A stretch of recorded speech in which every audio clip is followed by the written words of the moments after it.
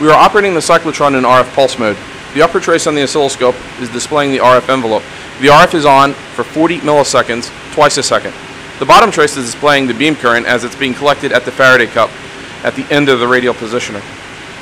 Note also the phosphor screen in the viewport, I'll point to it, how it's illuminating for the same duration that the RF is on.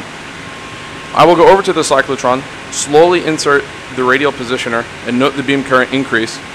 Then I will start to retract it and the beam current will decrease. I'll pull it all the way out to its maximum outer limit and it'll be at a minimum and then I'll return it back to roughly the same location it is now.